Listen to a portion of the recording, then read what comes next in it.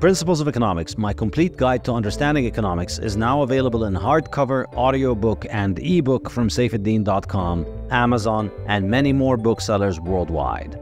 And now I am also teaching a course based on this book on my website, saifedean.com. Principles of Economics will run the whole academic year, from September to June, and will have a new lecture every two weeks, as well as weekly live online discussion seminars open to learners from all over the world and from all walks of life.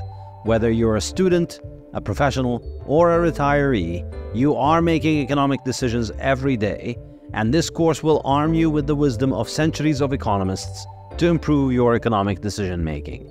You'll also get a free book of Principles of Economics if you sign up for the course, and if you do it before September 20th, you'll get a 20% discount. Go to saifedean.com and sign up now. I'm happy to announce that I have set up my new publishing house and online bookstore, The Safe House, which will be publishing and delivering the best Bitcoin and Austrian economics books worldwide in hardcover, audiobook, and ebook formats. Go to thesafehouse.com to buy my latest book, Principles of Economics, as well as the Fiat Standard and the Bitcoin Standard. And now I'm also publishing Fiat Food, Matthew Lysiak's amazing investigation into how inflation ruined our diet and health. And I'm also publishing Lyn Alden's Broken Money, her masterful exploration of the failures of the global financial system and how Bitcoin fixes it. This is a Bitcoiner's bookshop, so the books are printed in beautiful cloth hardcover made to last, with an ice colored dust jacket on top. Go to thesafehouse.com and get yours now. CrowdHealth is the Bitcoiner's answer to fiat health insurance. If you listen to the show, you've probably heard me rail against the problems of modern healthcare and health insurance. Crowd Health is a brilliant new solution to this problem that leverages the power of Bitcoin to help people get affordable healthcare. Crowd Health holds its cash reserves in Bitcoin, it negotiates with healthcare providers on your behalf, and gets you much better rates by offering to pay them cash, upfront, without having to go through the expensive bureaucracy of modern healthcare insurance. It's a solution that works better for healthcare providers and for patients by disintermediating large insurance companies who have the wrong incentives and are constantly raising costs. I'm very happy to have signed up for Crowd Health and I'm really excited to support them as they disrupt the fiat health insurance industry. Go to joincrowdhealth.com and use the discount code SAFE, S A I F, and you'll get the first six months for $99 only. The Bitcoin Standard podcast is brought to you by CoinKite. CoinKite are my favorite makers of Bitcoin hardware. They produce the legendary Open Opendime, the first Bitcoin bearer asset, as well as the reliable Coldcard hardware wallet, the excellent stainless steel seed plates for storing your seed phrases, and the block clock. Now, CoinKite have produced the Sats card, a card the size of a credit card which can store Bitcoin and works great as a gift. CoinKite have just produced a limited edition gorgeous Bitcoin Standard Sats card, which carries the Bitcoin Standard logo, and you can get it from coinkite.shop slash Bitcoin Standard. Use the code Bitcoin Standard to get 5% off your purchase. Saifedean Ammous, always great to have you on again. And we're going to talk about your new book, Principles of Economics. How is everything going? Everything is good. Thank you for having me, Jimmy. It's always a pleasure to be talking to you, whether in person or through the uh, wonders of video technology. yeah, and indeed, we do have uh, quite a few wonders. Wanted to uh, get into your book, Principles of Economics. For me, it was an eye-opening read. I've read a lot of Rothbard, Mises, and you know Hayek, and many others. Uh, but for me, this was the book uh, for an introduction to Austrian economics. Uh, touched on a lot of subjects that a lot of Austrian economics texts do not.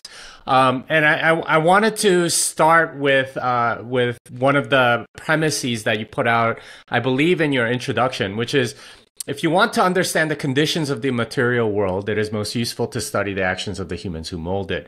Um, and I, I, wanted to get your take on how this approach of examining human action is very different than the traditional economics approaches that, you know, the lot of universities, a lot of macroeconomic uh, professors and people in the Fed and all the traditional econ economists uh, sort of, how is that different from that?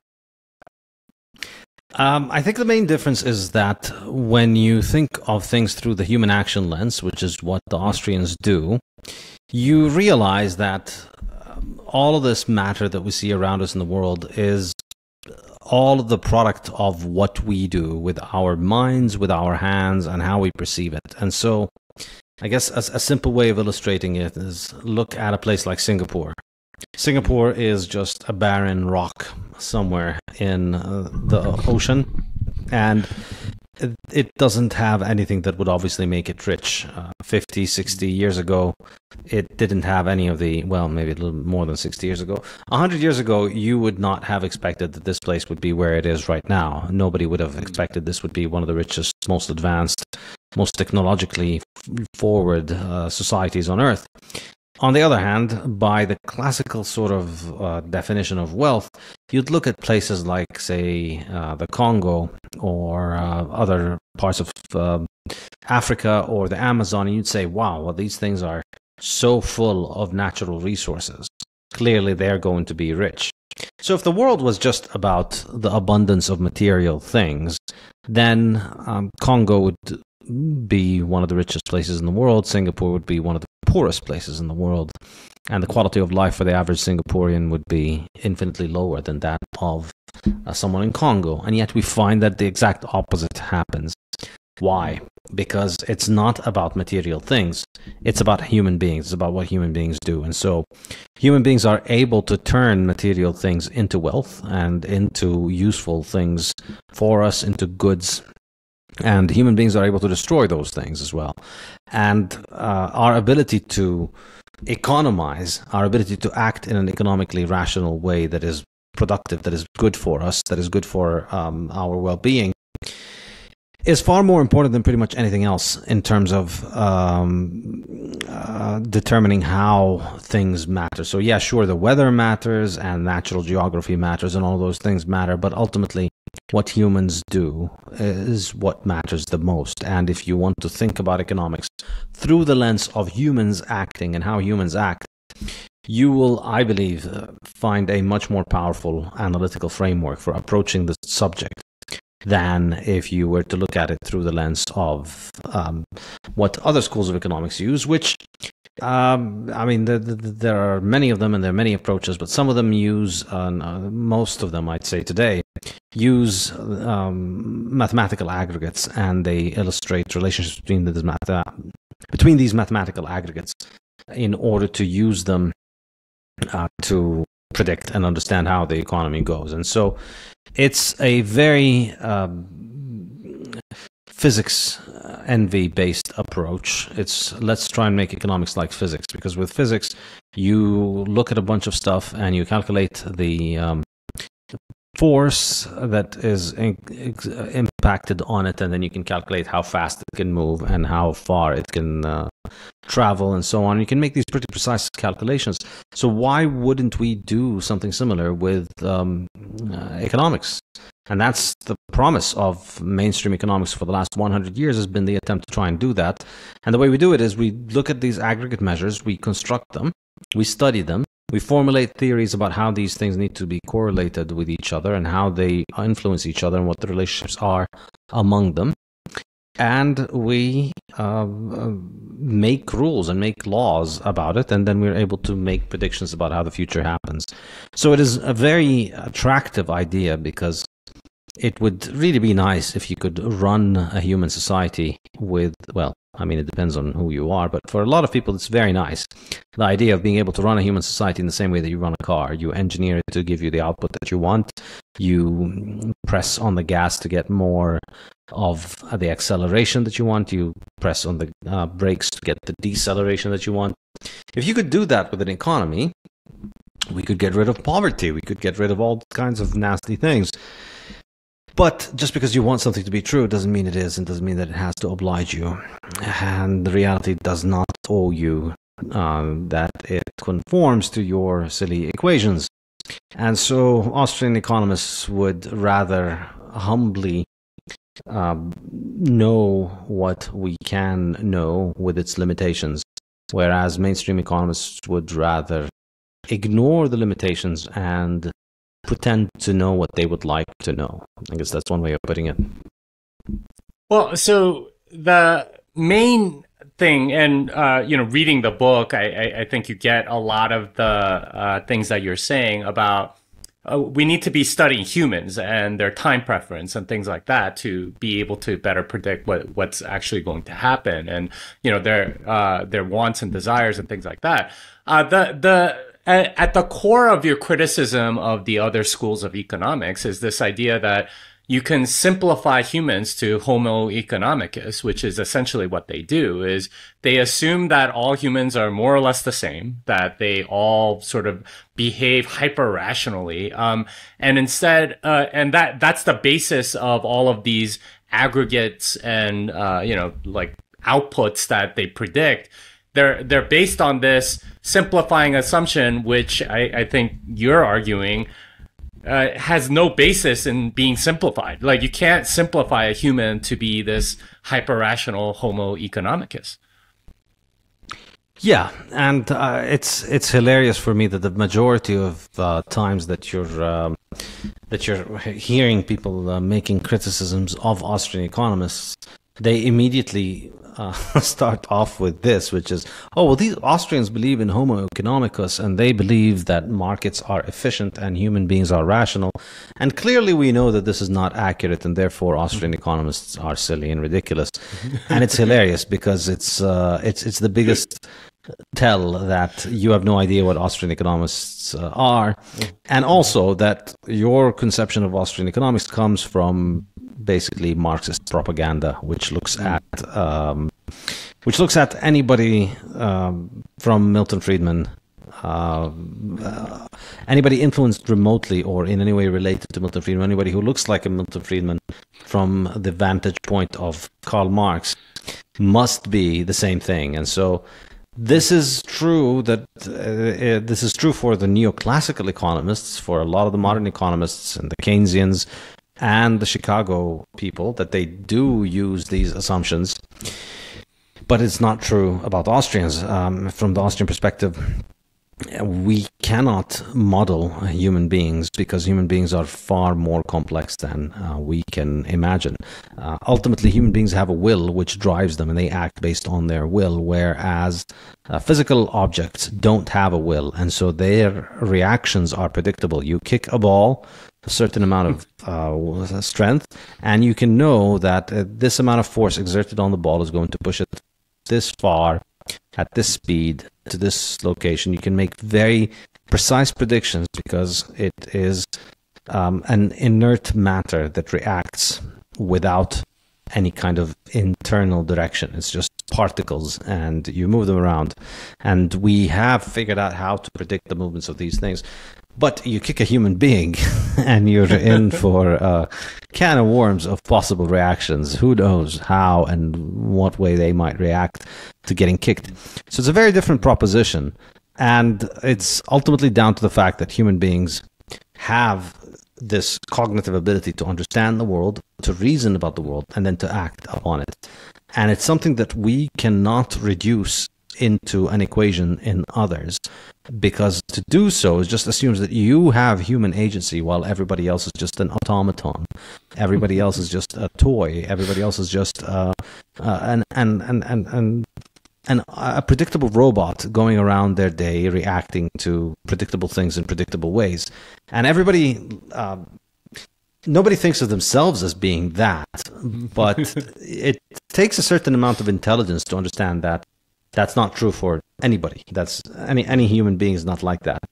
And I think it's a trap that many people fall into it when you become a little bit um, educated and some people should not be overeducated. I think we have a massive problem of people who spend way too much time studying useless things that they don't need to study.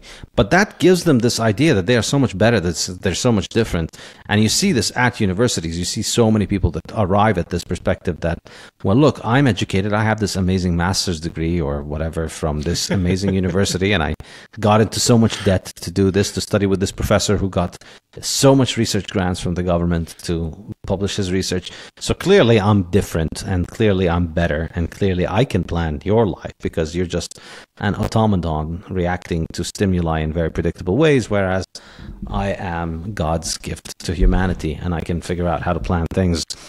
Um, so ultimately, mainstream economics is inextricably tied to uh, central planning as a mechanism mm. for thinking about how to approach the economic question because you're approaching economics from the perspective of how do we plan society to make it better? How do we make society more efficient, more powerful, uh, whatever it is that you want? Whereas Austrian economists are not approaching it from the perspective of central planners, and this is uh, this this is what economics used to be. It's it's it's not an attempt by the government to plan society. It's just trying to study how human beings react to economic incentives and how they think about them, and uh, what that can tell us about economic decision making. Hmm. Yeah, I, uh, something that I picked out there from what you were saying is, uh, you know, Austrian eco- economists, I think, um, value human dignity in some way, right? Like uh, recognize that each individual has different wants and needs and uh, and things like that. Whereas sort of the simplifying assumption of all uh, like central planners is okay. Let's let's assume that they're all the same, and now let's uh, let's figure out what we can do with it.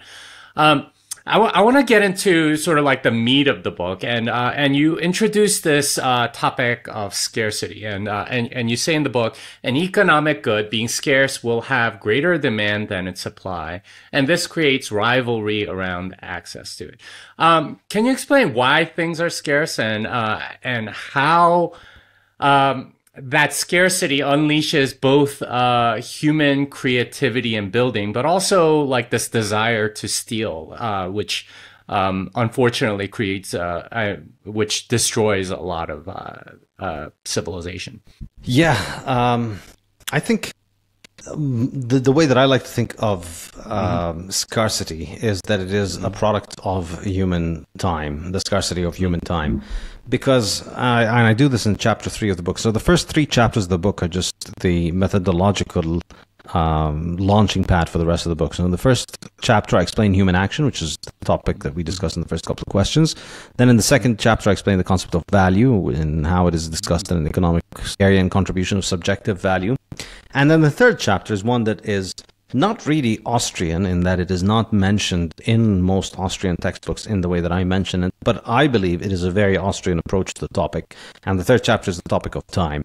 So, uh, how we think about time as um, as a, as a as a topic in economics.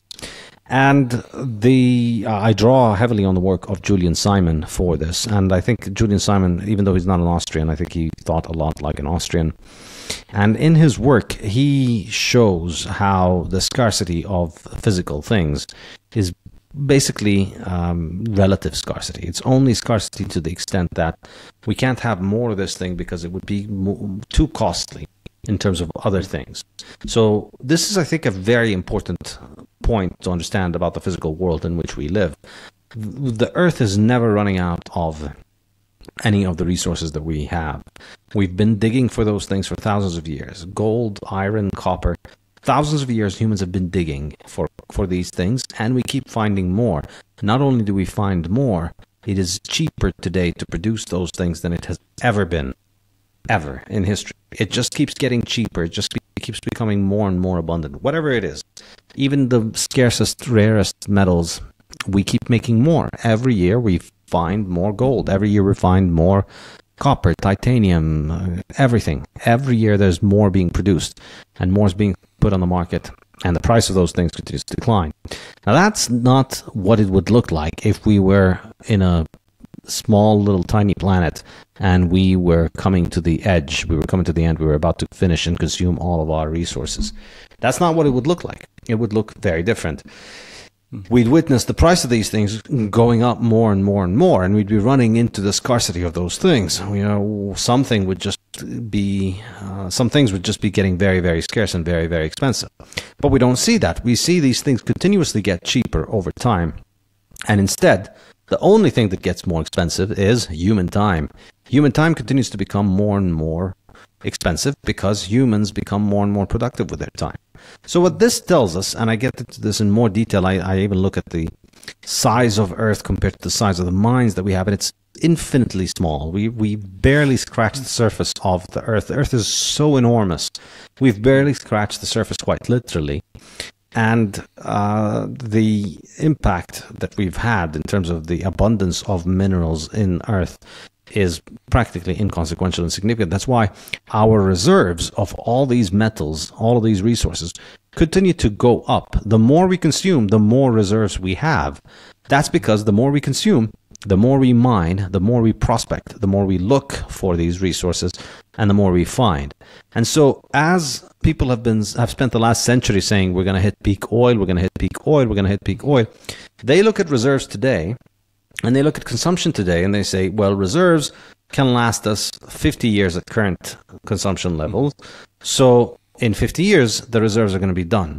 And yet, 50 years down the line, you find that our consumption has gone up significantly more. We consume maybe fivefold, five times more than what we consumed uh, 20, 30, 40, 50 years ago.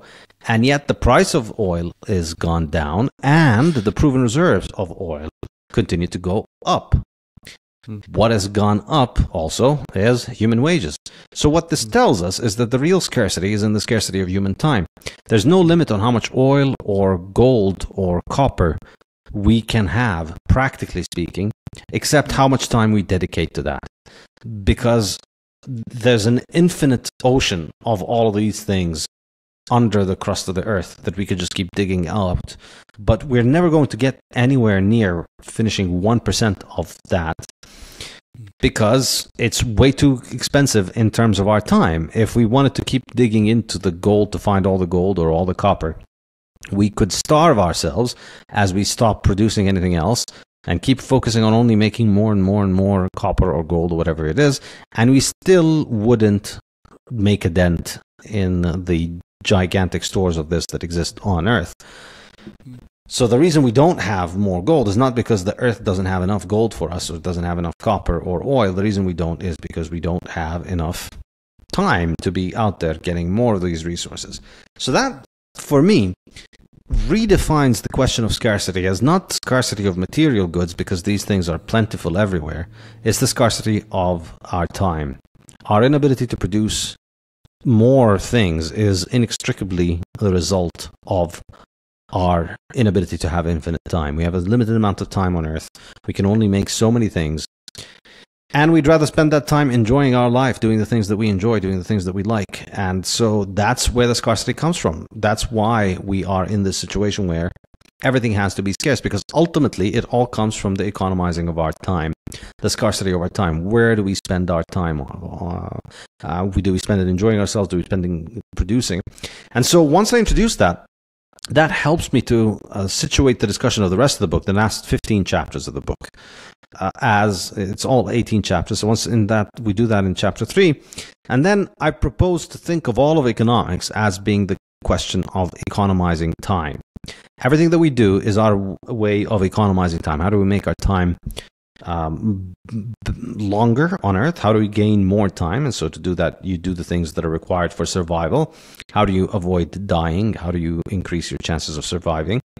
And you do this by trying to improve the quality of your time, the subjective value that you place on your time. So you try and increase the amount of enjoyment that you get. And the way to do that is to seek out the good things in life that people want. And that, I think, is the good, uh, is, is a good way of thinking of material economics and on the economics of material objects. Think of it all as the process of optimizing our time trying to increase the quantity and the quality of time that we have on Earth. And so, what are the things that we do? We economize. What does that entail? Well, these are the topics of chapters uh, 4 to 12, basically. And so, chapter 4 is labor. We work. That's the one basic thing that all creatures do. Animals hunt and graze in order to get their resources and sustenance so that they can improve the quantity and quality of time that they have on Earth. Humans do the same thing. We work. But we're much more sophisticated than animals, so we go beyond just working. We develop the concept of property. Once we once we've been able to understand the development of the concept of property, we've increased our well-being enormously because you don't have to go and look for a for a shelter every day. You just secure a part of the world that you call yours, and then th- that's your shelter. And then every day you have shelter, and then you can spend your time that you used to spend looking for shelter every day. You can spend it on doing other things. So property is an enormously important invention. Somebody, I can't remember who it was, but somebody a few days ago mentioned it to me that uh, you could make the argument that property is the greatest invention that humanity has ever made. The concept of property. I think there's a case to be made for that, um, because all of our modern economy, all of our ability to have civilized society, the entire premise of human beings being able to live together as a society is entirely predicated on the respect of property. So, labor, property, and then the third big one, capital. And that's a form of property that is not consumed for its own sake, but that is used to produce other things. I believe this one is also enormously important, and I discuss capital in detail. Number uh, four is energy or power. How do we direct energy and power towards meeting our uh, needs? And then number uh, five would be uh, trade. How we trade with one another. No, wait. Yeah. Is that the sequence? Embarrassed to have forgotten the sequence of my chapters, but I guess it is. Okay, yeah. It's been a while. yeah. And so then you move on it, to it trade. It is trade and then uh, and then money. Yeah. Yeah. So, so the first four that I mentioned were the ones that are in the context of an individual on their own. These are the things that you can do if you are just one single person on an island. You will seek to maximize the energy that you can consume by collecting firewood or trying to use the water from a stream to do the things that you need to do for your life. All of these things that you could do, uh, all of these are things that you can do on your own. But then we move to the concept of what a society does and how we economize as a society. So the first thing we do is we trade with one another. Mm. And that's an enormous, enormous advantage. And once we are able to live together in a system where we respect each other's property and we are able to exchange things with one another peacefully and co- consensually without initiating violence against each other, we open up an entire world of possibilities that massively increases our productivity and our ability to um, meet our needs and again improve the quality and quantity of time that we have on earth. And then trade the next step is mm-hmm. um, money. We start utilizing money. We live in an economy that's based around money that massively improves our productivity and the value and the quantity of time that we have on Earth. Because when we use money, we can specialize. And we can specialize within a very large division of labor that allows for extremely sophisticated um, division of tasks with increasingly um, uh, with high, very high productivity that continues to increase over time. And that's only possible with a system in which we have a neutral form of money. And that gives us a market economy and that is capitalism. So, chapters 11 and 12 discuss capitalism and a market economy, what is meant by the term capitalism from the Austrian perspective, why it is so important, and what needs to happen for there to be a capitalist society. Well, uh, so you, you cover quite a bit there, uh, but the the uh, the thing that I, I, I want to get to is sort of like that that capital accumulation, uh, uh, uh, that creativity that humans express in sort of in a way to relieve that scarcity for other people right? So um, you know coming up with new processes and ways to produce stuff that ultimately fills their needs um, in a way that reduces that scarcity. That that's uh, I think what you argue in the book is that that's the not be fulfilled necessarily by the current production processes that exist, uh, that that uh, for uh, that uh, unleashes sort of like that uh, human ingenuity to uh, you know essentially benefit the rest of humanity, and that's maybe what you would call um, civilization building. Whereas you know the other fact uh, the other way to deal with scarcity is just to go around and steal from other people and um, you know as you point out uh, having proper the concept of property means that it's yours and that other people can't take it away but that that's uh, that's another way to sort of like deal with scarcity so for me th- those two are the sort of main ways to deal with this economic fact um, I, I, I w- want you to uh, explain why it's so much more important to go with the obviously creative way rather than being sort of like the jerk that sort of goes around and steals from people and so on. Yeah, so I realize I, I uh, veered off. Mm-hmm. Well, but your question was an enormous one. It's basically mm-hmm. asking me to summarize the entire book. So um, I guess you could say that there is a little bit of a narrative and an agenda uh, underlying the book in a sense that it's not just here, let me tell you what capital is and let me tell you what uh, money is and how trade works and how there's comparative advantage there's definitely an agenda there. It's a Saifedean Ammous book. It's it's not uh, it's not going to be innocent of me trying to uh, badger uh, my ideas into your brain. And the under um, the, the underlying theme here is the concept of human civilization and why human beings um, should value civilization, why human beings value civilization. Uh, it's not a matter of should. We do value it. We all choose to be part of the division of labor um, even the most angry, bitter uh, people about it, who are always complaining about it, they don't uh, they don't choose to go and live away from civilization. They still complain while using the products of civilization to voice their complaints, to make their complaints more and more efficient. And because obviously uh, everything is much better when done through civilization. So um, what I present is in in, um, in all of these chapters leading up to chapter twelve are all of the ways in which we economize and the way in which we economize. Um, all of these are um, all of these are voluntary ways of economizing. So, n- mm. nowhere here have I mentioned anything that involves ultimate property. And so, if you simply take that as a starting point, if you take that as your algorithm for how you deal with the world, you respect people's property. People can respect their property. We can all deal with one another. We can all live together. And we trade and we develop a monetary system and we develop a capitalist economy and we accumulate capital and we increase our productivity and we benefit enormously from one another. This is one way to do it. But then um, in chapters 16 17 and 18 the last three chapters of the book I analyze the economics of the other way of doing it, which is mm if at every single point here, and you could have chosen the other path, you could have chosen, no, I don't want to res- respect this other person's property. I'm going to go fight him and take it from him and make it mine. You could have said, I'm not going to trade with this guy. I'm just going to steal his stuff. I'm not going to uh, let people just have a monetary system built around gold that works. I'm going to screw them over with fiat. Mm. These are all possibilities that can happen all along. Um, and all of these are essentially forms of aggression. At every, that's the other side of the coin. So either you deal with people consensually, in which every person does what they want and only engages in transactions in which they uh, which they want to take part in. Or the alternative is aggression. One person aggresses against the other and the person who aggresses um, either takes things from the other or um, kills the victim or gets to use the victim as slave labor. All of these are possibilities.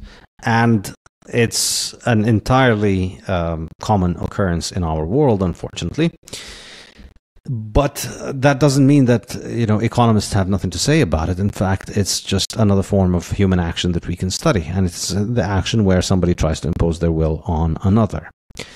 In a nutshell, I think the case for civilization, the case for the first path, is uh, the way that I argue it in the book is I just simply illustrate that this is what everybody shows, everybody does anyway. 99.999% of everybody's life is spent engaged in civilization, in the peaceful division of labor, in respecting property rights. And even the most violent criminals, even the people who re- reject these ideas the most fervently, the most uh, violent statist who wants the government to own everything and control everyone. Even these people, they still act based on the fact that they are part of a civilization. They still use civilization for the majority of their actions. And I think this is, for me, this is really the best argument that I could go with because I can make the moral argument for it, which I believe is uh, impeccable. Uh, you know, there's no arguing against it. That you don't have a right to go around aggressing against other people, and if you do it, um, it's it's clearly immoral. And then there's the consequentialist right, which is the consequentialist argument, which is if you aggress against others, they're going to aggress against you, and then you're going to find yourself in conflict rather, and you're wasting your life away in destruction rather than production, and that's not going to pay off. Um, and I obviously use that one as evidence, but I think the main point that uh, um, is that civilization doesn't need me to defend it.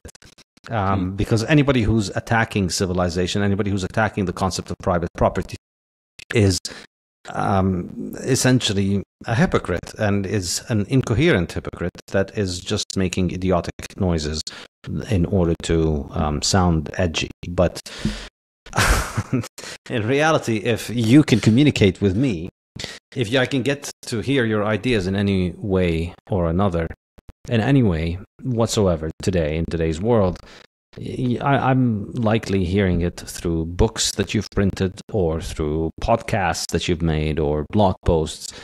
And simply producing those things requires such an enormous amount of um, products coming out of the capitalist division of labor that it makes whatever noises you produce against that division of labor completely immaterial. It's it's it's it's completely nonsensical. It's you are completely engulfed in the process of capitalism, property rights, and that's the only reason you're able to secure a laptop. Even if you stole your laptop in order to communicate those ideas, that laptop could not have been produced without a very large network of tens of thousands, maybe hundreds of thousands of people all over the world who work within a system of property rights.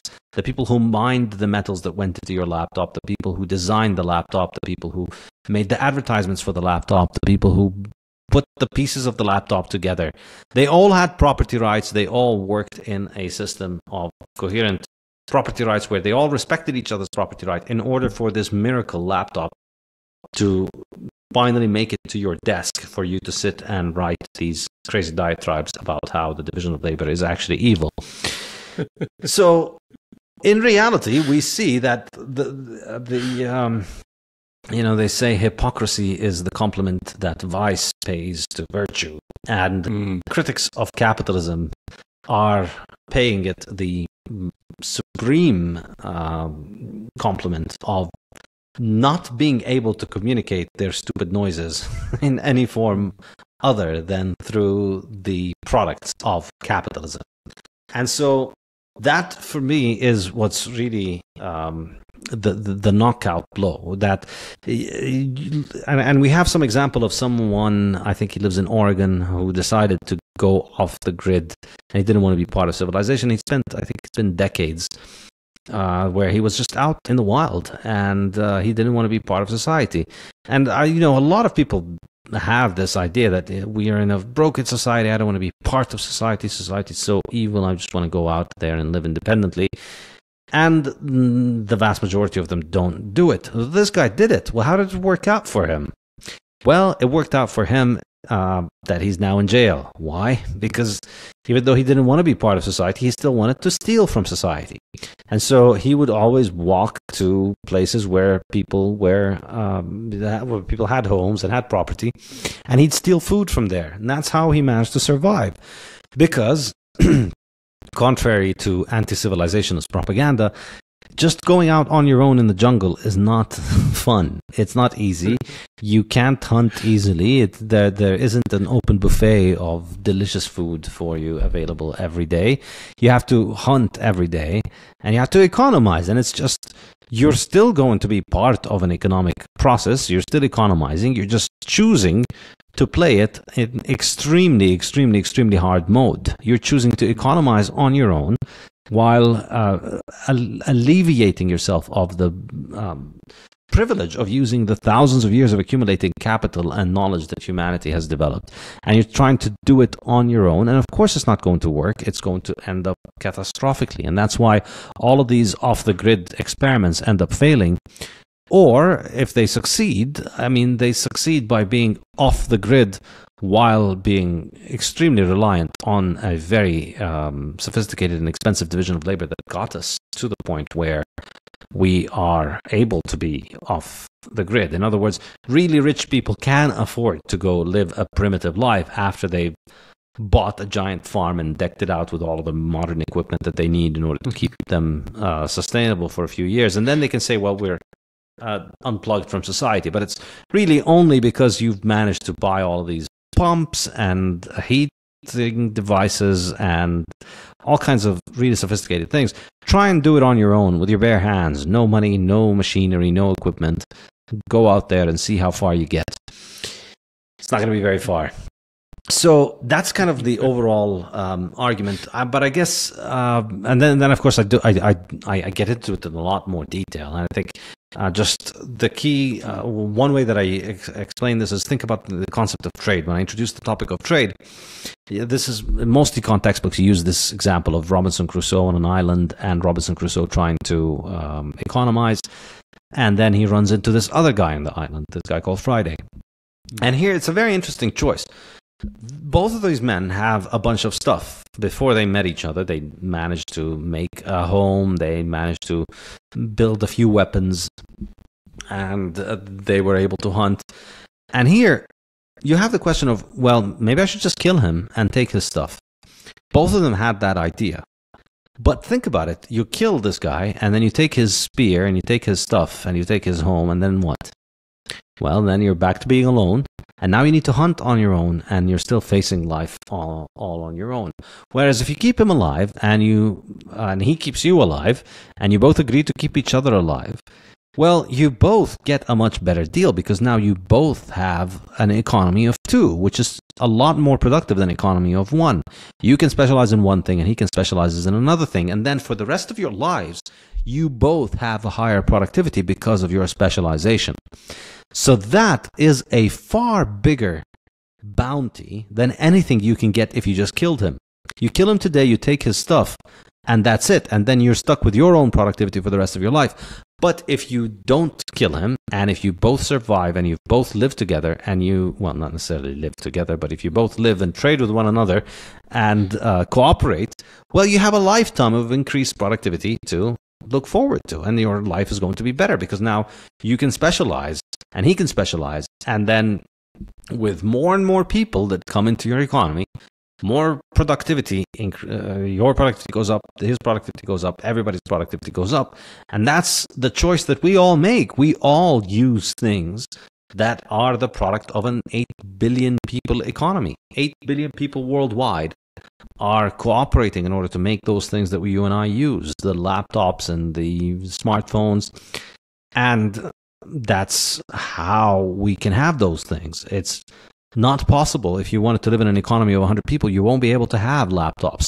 If you wanted to live in an economy of a million people, I think you won't even be able to make laptops. Not even a million people would probably be able to produce a laptop. Just think about how much work needs to be done and how expensive all of these things would be done if they were done at a very tiny scale. If you wanted to produce microchips, but only for a million people, think about how expensive that would be. If you wanted to produce mine copper and make silicon and do all those things, but only for a million people. It'll be very expensive and likely it'd be too expensive for people to get to do those things because we'd be stuck doing far more primitive things. In an economy of only a million people, we'd have a very hard time securing enough food to survive. So that's why we all end up being part of civilized society for the vast majority of our time. And I think um, in, in, in the last few chapters, I discussed this as just it's just another form of economic uh, decision making where we um, deal with the concept of violence and we deal with the concept of coercion like it is any other economic decision. In that, not being subject to economic coercion is, uh, or not being subject to any kind of coercion, is a good. And it's an economic good. And so, in order to get that good, um, we act and human beings work to get that. And the reality of the matter is that security and freedom from coercion is a good, and it is a good that is on the market. And if you uh, ignore government propaganda and just look at the reality, you see that the vast majority of the market for security is private. Even though most people tend to think that security is something that the government provides for us, in reality, the vast majority of the market for security is private. There are more private security guards in the world than there are police officers. The majority of the world's uh, arms manufacturers are private companies. They're able to make these guns and weapons because they are part of the division of labor. They buy their raw materials on the market, they hire engineers from the market, and they buy their factories and everything that they need on the market and they produce goods that they sell on the market. Yes, a lot of that goes to the governments, but we still have a vast majority of weapons manufactured are being manufactured by the private sector. And so the more you think about it, the more you see it's just another market. And in fact, the state is just an entity on this market, which acts to its own interest. And the way that it does it is that it brainwashes people into convincing themselves that the government is acting for your own good when it isn't. Well, um, assuming that you actually are going to participate in civilization, I, I want to get into um, this concept of value, and and you did touch upon it, uh, but I, I want to read you a couple of quotes from your book. Value cannot be a constant property of objects. It is a conscious phenomenon in our minds, and human values cannot be measured in one standardized unit. Um, so, the, uh, as you pointed out before, a lot of these other uh, schools of economics have something like physics envy and want to quantify everything, and uh, and that's uh, something that you assert in the book. You cannot do because it is uh, it's it's something that's inside somebody's mind, and that's not really quantifiable. Um, there there is no fixed value in other words uh, but uh, but for a lot of us um, i think there is sort of like this um, how we think about value is often contradictory to that. The, the economic reality is that there is no fixed value, that it's based on individual preferences and so on.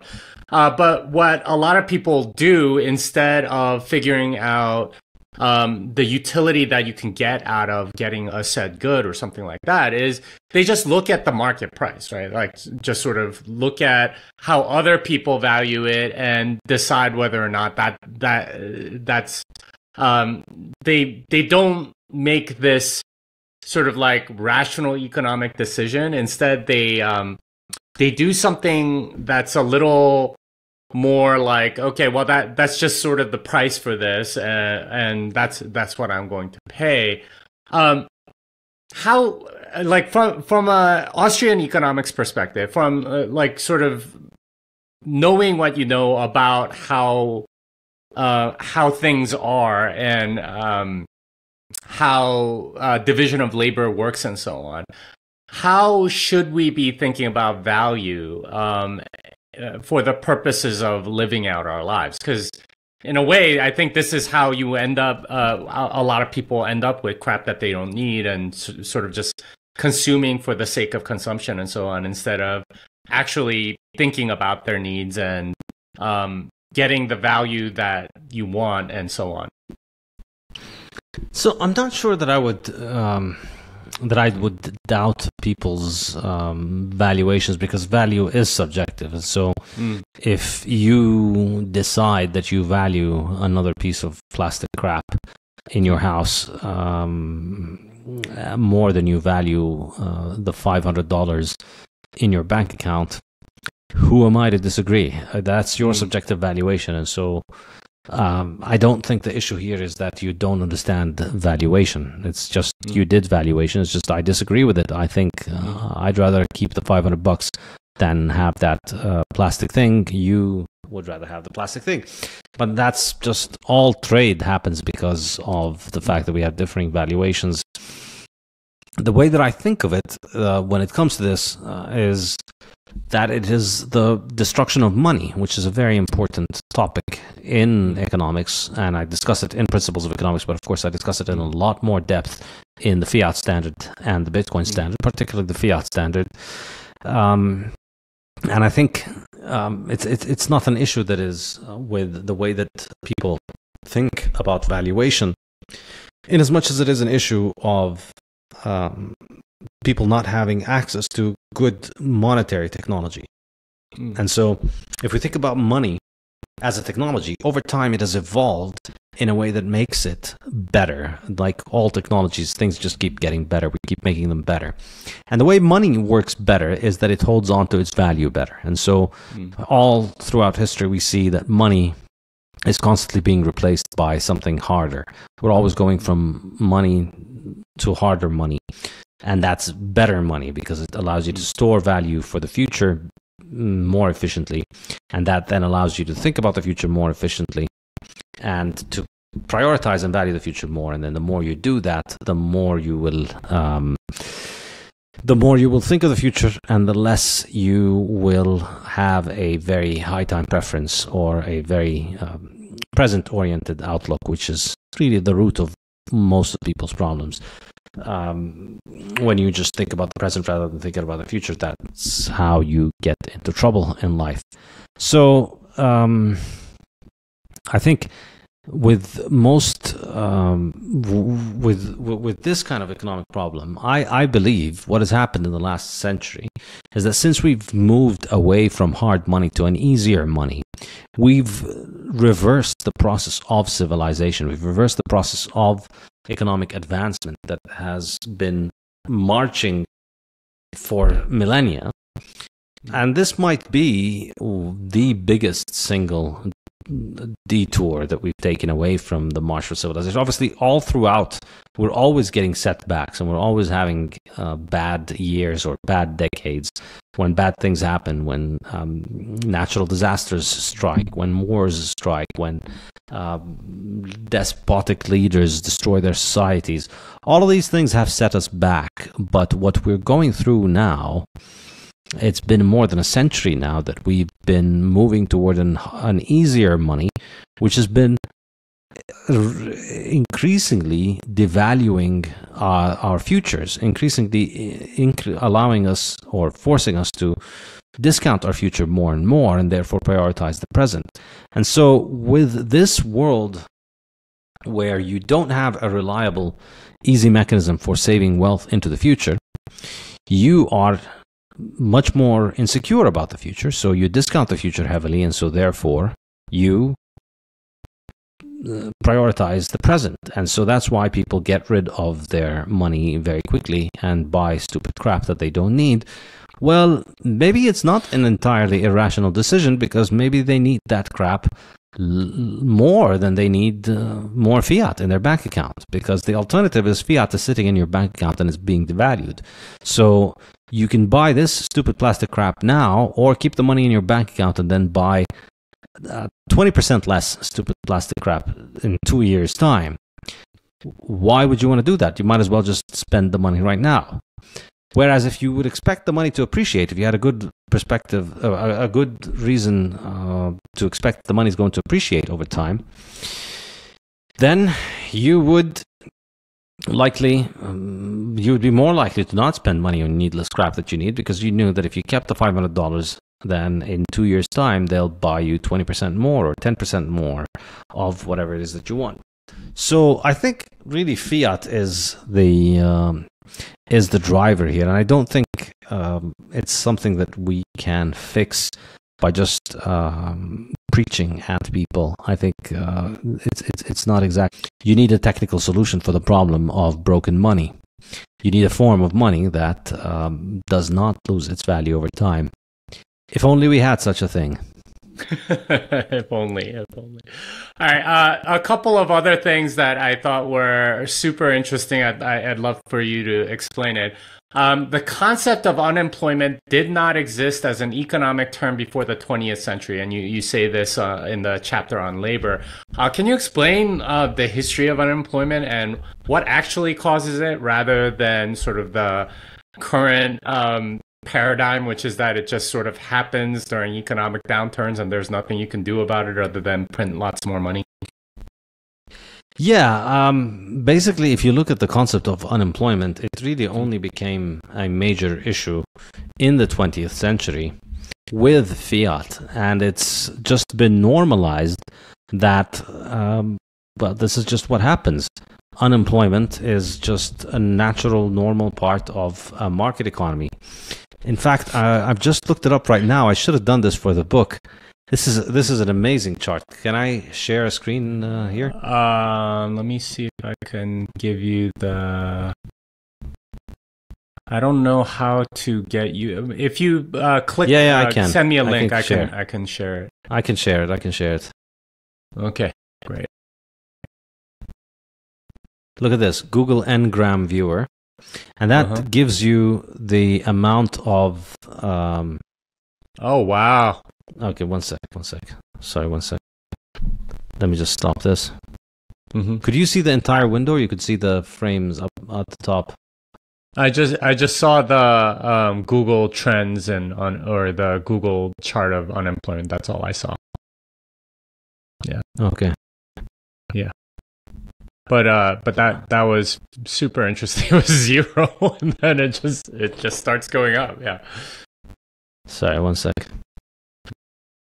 So, as a matter of fact, I just got this idea to look this up right now, and it's a Mhm. very, very fascinating chart because it conforms with what I say in the book, which is that before the 20th century, there was no such thing as unemployment as a topic. Mhm. People didn't really mention it. So, Ngram, Google Books Ngram, is a um, is, is a, is a tool that looks at the uh, frequency of the occurrence of a certain word in uh, books that have been digitized by Google, which is an increasingly large percentage of all the books that have been ever published. So, particularly for the English language, they've got a very, very large number of books that have been published since 1800 that have all been digitized and put into. Um, into the Google database, and now they've they just count the words. So look at this: in the 1800s, practically very, very, very little mention of unemployment. And then 20th century happens, and look at that.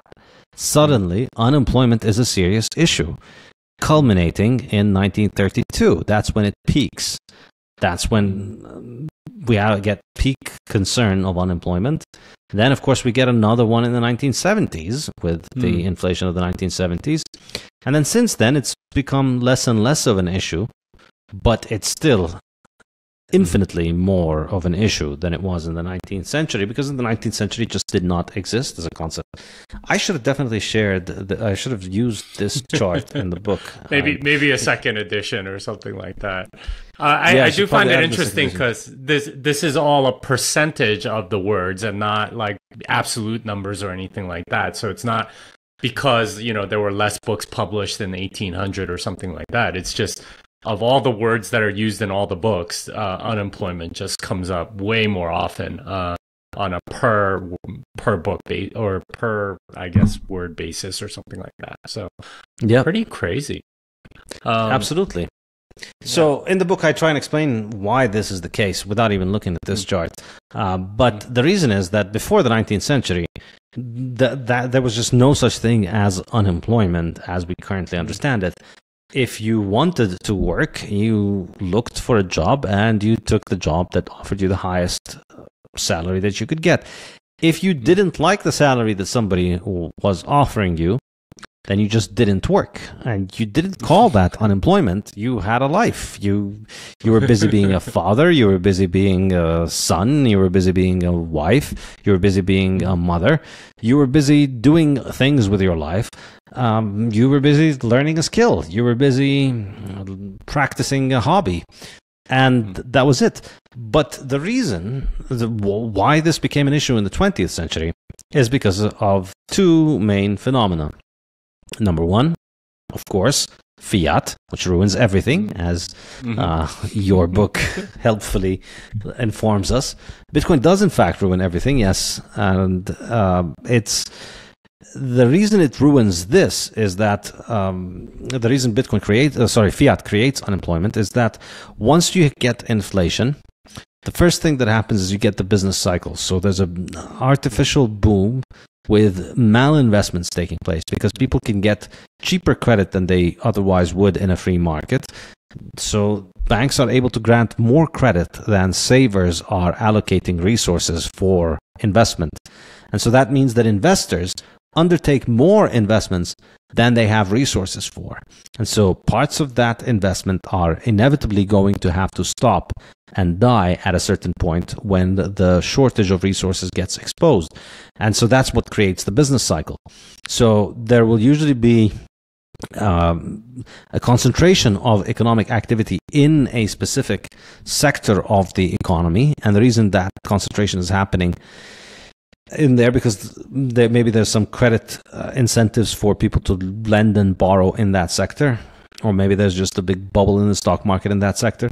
So there will be a concentration uh, of the bubble in a specific sector, which causes an unsustainable boom and then causes a crash. And then when that crash happens, you've got a devastation of a very large number of businesses in the same sector. And so those businesses go out of business or they hire fire a lot of their workers. And the result in both cases is that you have a large number of people who just got laid off at the same time with the same set of skills and the same set of skills that just became um, massively uneconomical to have because they're very abundant.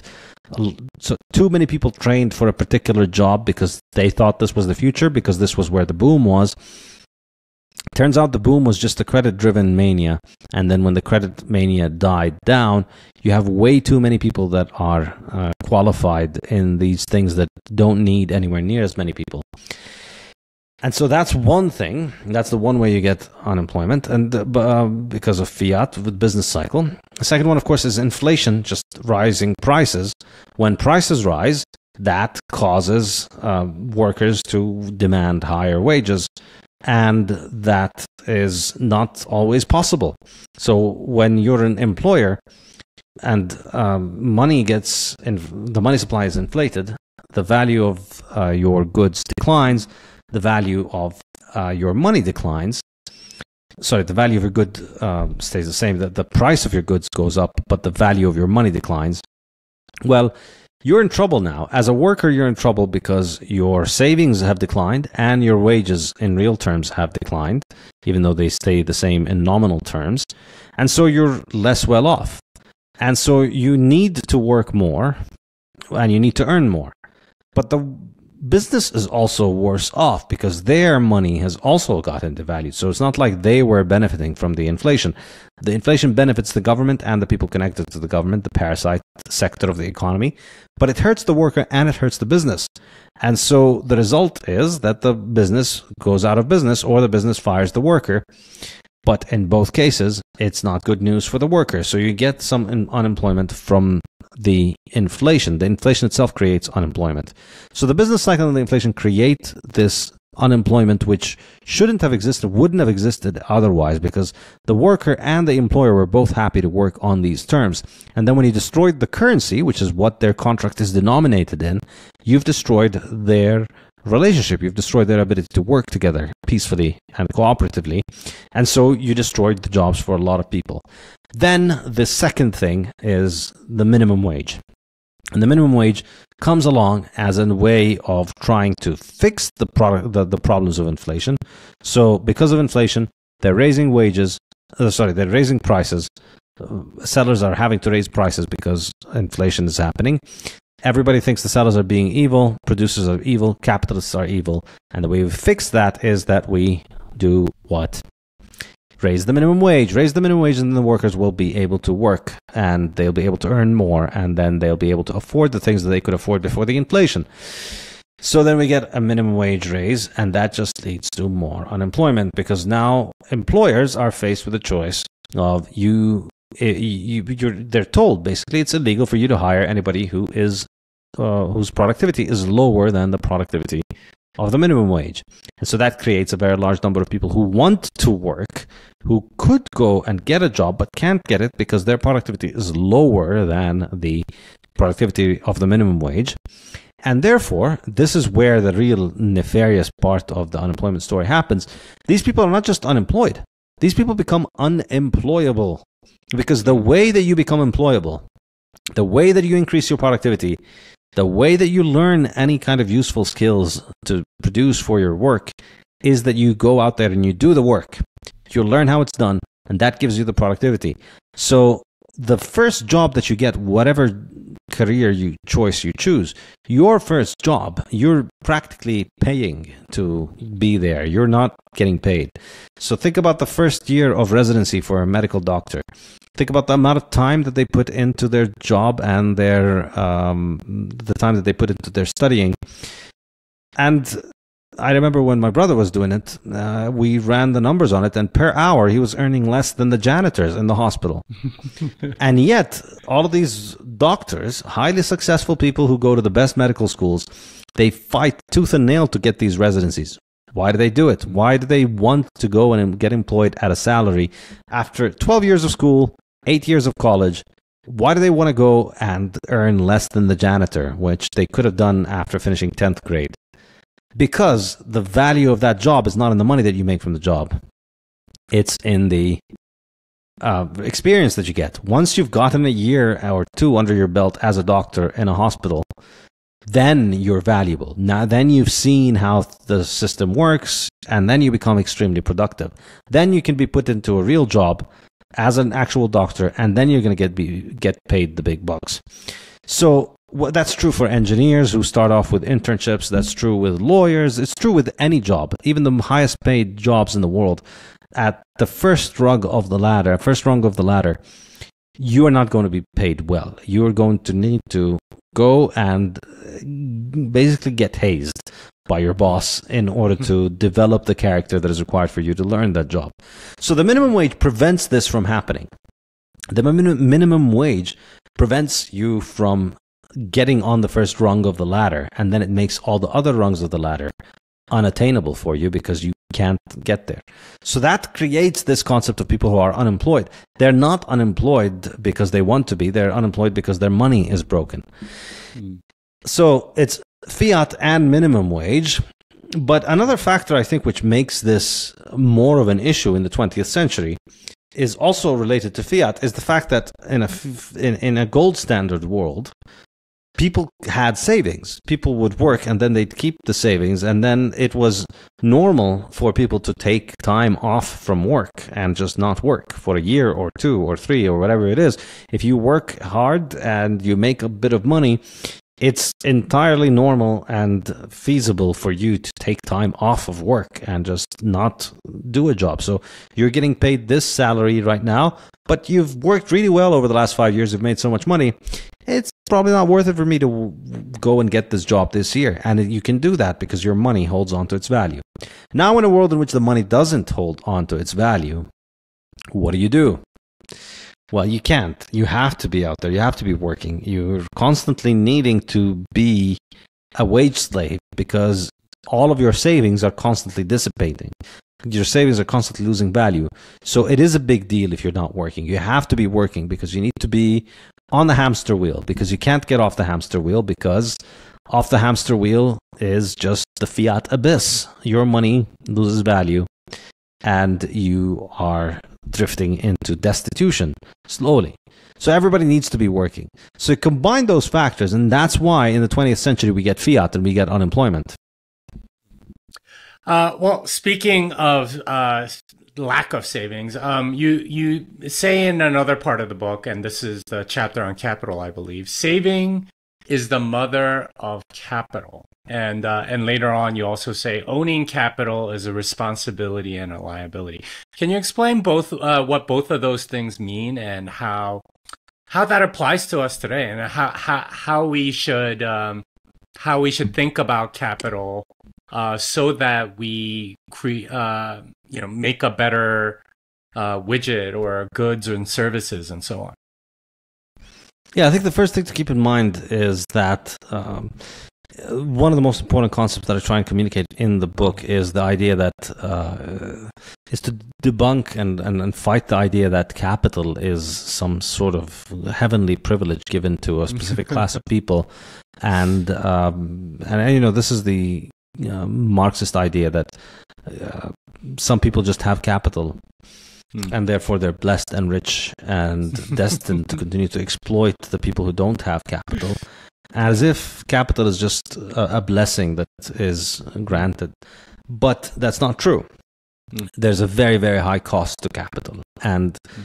all of the people that are railing against capital, if they would uh, shut up for 15 minutes and try and understand what capital is, I promise you they'd be a lot happier with their lives because they'd be able to secure some capital and figure it out rather than just continue to uh, shake their fist at it.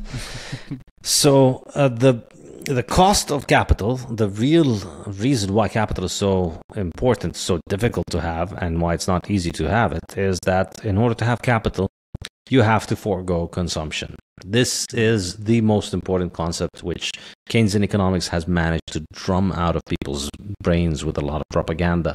People don't think you need to sacrifice consumption in order to have capital because they think capital could just be provided by the central bank because the central bank prints money and now we can all borrow and then we can all invest. But they don't understand that that money cannot create capital goods all capital goods are goods that can be consumed in one way or the other. So every taxi cab out there is someone's capital that could be used as a private car for just joyrides. And instead, you give up the joyride so that you could put it into work with a cab driver who's out there driving it every single piece of capital is only possible because somebody for, uh, forewent consumption. Somebody decided, I'm not going to consume this amount of money. I'm not going to buy a stupid toy that I don't need. I'm not going to go on a stupid vacation that I don't need. I'm not going to spend money on things that I don't need. I'm going to invest this in a productive asset that is going to hopefully make more returns for me than the money that I'm going to put in. So, first of all, there's this need to forego consumption. And it's not just a th- hypothetical need. Every single capital good that you see anywhere in the world, every single office building, every single tractor, every single factory, all of it has owners who could today decide, you know what, I'm done with this thing, I'm going to sell this thing. And they could sell it and they could take that money and throw a giant party with it. You could buy a yacht with it. You could never have to work for another day in your life with it. And yet, all those people continue to not consume those things and so to put them up as a capital good. So it's not, um, and, and, and as a capital good, it's not just that you decide, all right, I'm going to make this into capital and then it's going to give me money. No, as I say, it was more of a liability than an asset in a sense because you can't just say, all right, well, I have this million dollars, I'm going to turn it into capital instead of making, you know, I'm not going to buy a boat with it. I'm not going to throw a party with it. I'm going to make it into capital. I'm going to use the capital in order to become more and more, um, I'm going to try and use the returns from the capital to have a higher income in the future. Well, you can't just decide that in the abstract. You have to decide how and where you deploy your capital. And how and where you deploy your capital is an extremely difficult and uh, complicated question, which is uh, which entails a lot of risk because you could lose your money by uh, allocating it into the wrong places. So there's an enormous risk involved with capital not only do you need to forego consumption, you're foregoing consumption for something completely uncertain. You might not even get to have a better return. You may have been better off buying that boat. And then, of course, there's the risk of uh, the, there's the depreciation, which capital wears down. Uh, all machines lose their efficiency over time. The entropy kicks in and things fall apart. So you're co- you're constantly losing the value that you stored into your capital goods. So all of these things, I think, if people understood them, they'd have a lot more sympathy towards the plight of the capitalist, who is the the the the the fuel that keeps our modern world going is the fact that people save and don't just consume everything. That's why we have capital. That's why we have productivity increases. That's why we have industrialization. That's why we have all of the nice things that we have. And it's high time that people started valuing capitalism more and capital more. The syllabus for my new online economics course, Principles of Economics, is now available on saifedean.com. The course will take place over 18 lectures each based on one chapter from my new book, Principles of Economics, which will be available for free as an ebook for everyone registering for the course. Lectures will be released once every two weeks on Mondays, starting on the 25th of September 2023, and will be available in video and audio format. Live discussion seminars will be held once a week on Thursdays at alternating time slots, 12 hours apart, to ensure learners can attend from all over the world. I'm happy to announce that I have set up my new publishing house and online bookstore, The Saif House, which will be publishing and delivering the best Bitcoin and Austrian economics books worldwide in hardcover, audiobook, and ebook formats. Go to thesaifhouse.com to buy my latest book, Principles of Economics, as well as the Fiat Standard and the Bitcoin Standard. And now I'm also publishing Fiat Food, Matthew Lysiak's amazing investigation into how inflation ruined our diet and health. And I'm also publishing Lyn Alden's Broken Money, her masterful exploration of the failures of the global financial system and how Bitcoin fixes it. This is a Bitcoiner's bookshop, so the books are printed in beautiful cloth hardcover made to last, with an ice colored dust jacket on top. Go to thesaifhouse.com and get yours now. The the chapter that I thought was probably the most interesting in your book, and this uh, uh, was was the one on energy, and uh, and you assert in that chapter that we really shouldn't be thinking of energy um, as like joules or something like that, but as power because the delivery of energy over time is the important thing. Can you explain what that means and why uh, why energy is so important in sort of uh, examining uh, the uh, economics uh, or in the field of economics rather? Yeah, so I think one uh, one this is this this is one of the things that Sorry, my daughter's very loud. Can you hear her? Yeah, I just heard one cry. That's all. It's it's all good. Okay.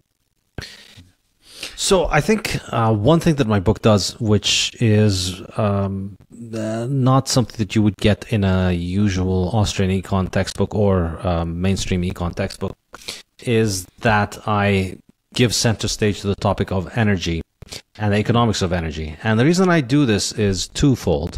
On the one hand, I believe that thinking uh, about economics in the proper Austrian marginal way, which is what I introduced in chapter two of the book, Marginal Analysis, uh, is extremely useful toward understanding how energy markets work. It's a very, very powerful mental tool.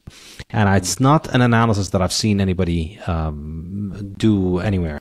So I, I, believe that that was very important just because it, it, it deserved to be given center stage in the book because it's it, it's something that more people need to be thinking about about how they think when they think about energy to use marginal analysis to understand uh, the economics of energy on the one hand. And then on the other hand from an analytical uh, perspective i think understanding the economics of energy is very useful to understanding economics in general uh, particularly in the modern world today because we if you really want to understand the importance of the Industrial Revolution and the significance of the Industrial Revolution over time, I think the most powerful way of explaining it is that it caused a massive increase in human productivity. Uh, because it allowed us to access very large amounts of energy at our fingertips. In other words, the average human being before industrialization had access to roughly around one human's energy output or one human's power per day. You this this was the amount of energy that you could dedicate towards meeting your needs before industrialization. If you happened to be a king or a slave owner, then you had a few slaves or many slaves. So you'd have say a hundred people dedicating their energy and power toward you. They could chop trees for you to keep you warm in the winter. They could burn those uh, logs to heat up water so you could have a hot shower. And you only managed to have these incredible luxuries if you had slaves, dozens of slaves who have, were working for you.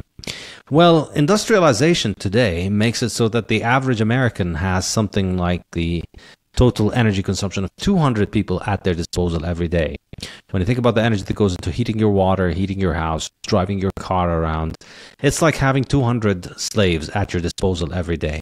But of course, it's not really comparable because your car is faster than any car that can be pushed by slaves. 10,000 slaves won't make your car travel faster than uh, an engine. So, what energy has given us is really best understood um, when you think about it in economic terms. And what industrialization has given us is best understood when you think about it in energy terms. Now, on the issue of energy and power, I really think it's um, it, it, it's it's it's a shift in vocabulary, but it's also very very significant toward understanding how energy markets work. So a lot of people think of energy in terms of just the aggregate number of joules that are being deployed, and so you'll hear a lot of discussion about well, this is, um, you know, this this energy source can provide this many joules, and that energy source can provide that many joules, and so the, we can meet our needs from energy with these two sources. But I believe this is not a useful way of thinking about it. It's um, an aggregate measure, and it's not a marginal uh, approach the correct approach to economics is marginal economics, in which you think about the next unit. You analyze things in terms of the next unit. And so the marginal value of energy is not is different from the aggregate total value of energy. We don't really need overall energy. Um, we don't really need uh, the total aggregate amount of energy. So the best way of thinking of this is sunlight. Sunlight on, on any given day, more energy f- hits the sun than all humanity consumes in a year. Solar energy is so plentiful in a way that we cannot even uh, think about consuming. So, all of the energy that all of humanity consumes in a year is less than the energy that hits the sun in a day, that hits the earth in a day. So, some people will say, well, this is obviously why we should all move towards solar energy because it's just so plentiful. But that's not the economic way of thinking because that's again thinking in aggregates. And um, I urge people to read in the book the example of the water and diamond, thinking about why is it that water is so much cheaper than diamonds when water is essential, whereas diamonds are not. If you understand that, you understand marginal analysis. And if you understand that, you understand why it makes no sense to talk about the total amount of solar energy hitting Earth versus the total amount of energy that we consume.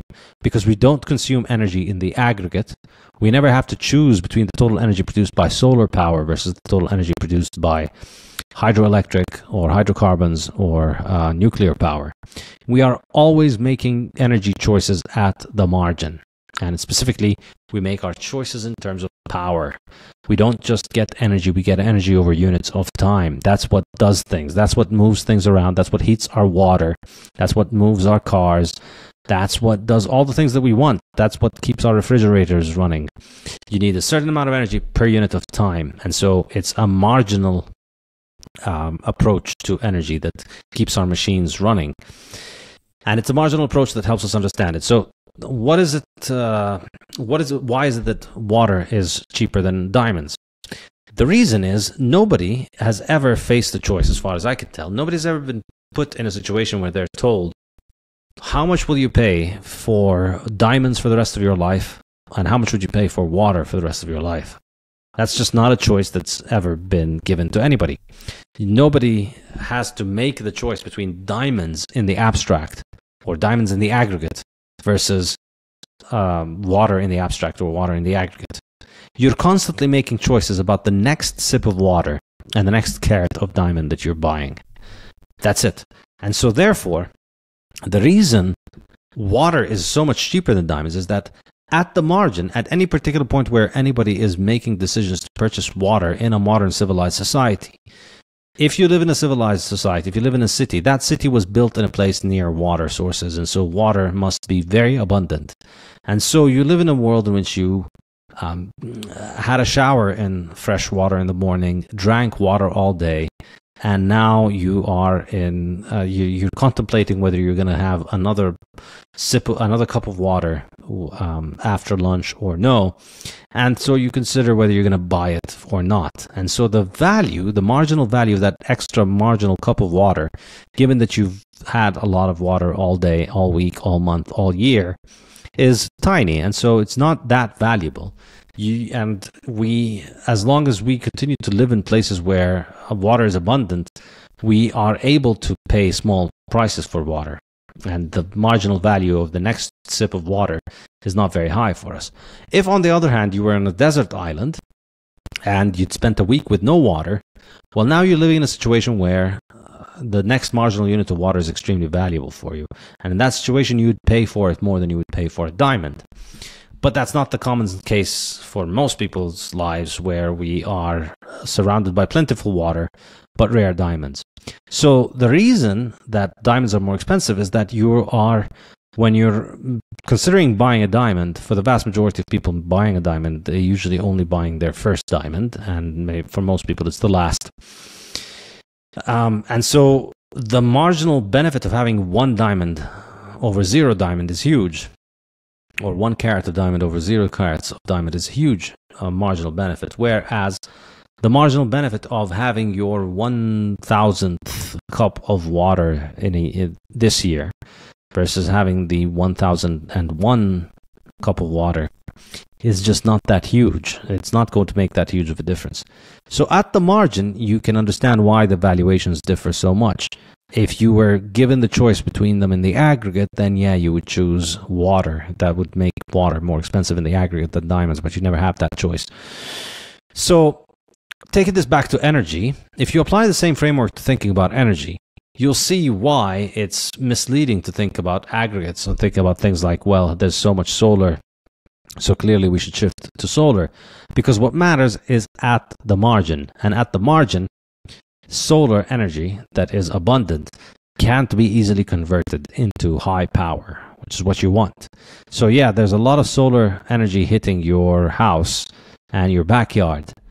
But converting that to oomph in your car engine or converting that to hot water is not a trivial issue.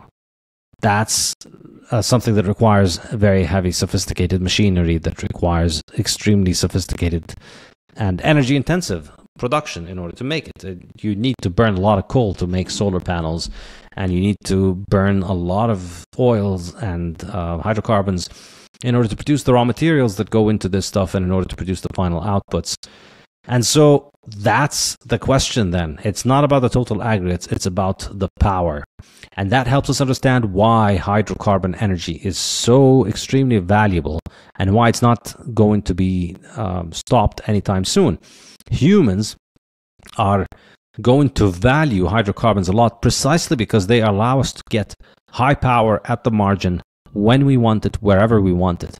So you just need to move a little bit of gasoline in a tank and a small engine, and then you can run an entire house and have electricity for the whole thing on demand, irrespective of the weather, irrespective of anything.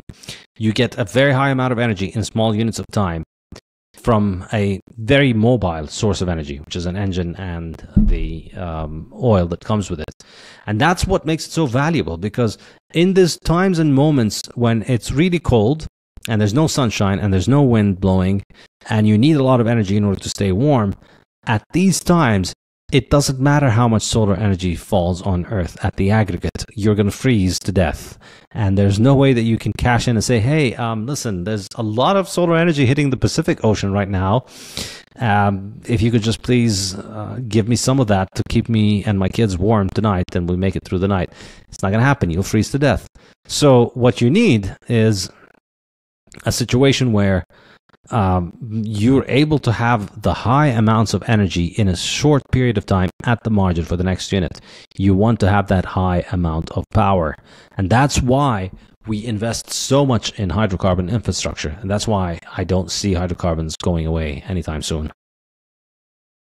Well, um, the the energy one is very interesting, and uh, and and your um, summation of marginal, um, you know, value, right? Like uh, determining the value being determined de- being determined by marginal use. Um, that that's a very important economic concept as well. Um, and it is, it is uh, something that I think everyone should learn.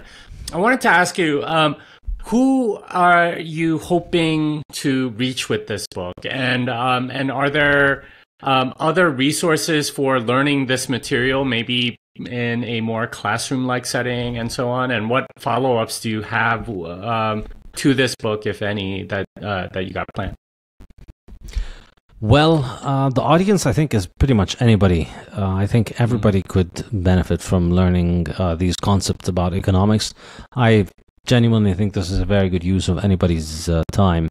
Uh, it's mm-hmm. 10, 12 hours to finish reading the book, and I think it's um, it's going to give you a lot of very useful ideas that will uh, help you in life and in business. Thinking about time preference, thinking about how you economize time, thinking about the concept of capital, understanding why trade is important, understanding why you shouldn't be uh, initiating aggression against other people, understanding why civilization is so good, learning how to be a civilized human being, um, and motivating that decision. I'm not going to teach you how to become a civilized human being, but I'm going to tell you why it matters. So I think the whole thing is important and very useful if we lived in a sane world where university was not a scam, I think this is the kind of economics that people would be learning at a university. But we mm-hmm. don't, so I'm having to build the world that I'd like to live in, and I'm doing that on my website. So I teach this course on my website. So if you like something more of a classroom experience where we go over this in the setting similar to the university, join my website as a member, saifedean.com, and then every two weeks I'm making a new lecture where a new video lecture where you get it it's a video of me and then my notes as i walk through the notes and explain the chapter. And then uh, once a week uh, so twice for every lecture we have two seminars where we have interactive discussions of these uh, topics and concepts. So you can have the you you can recreate the university classroom experience. And it's open for anybody. You don't have to be at a university. And it's not really um, um, it's it's uh, th- there's no uh, there's no admission criteria. Anybody can take the course, and I believe anybody can learn from it.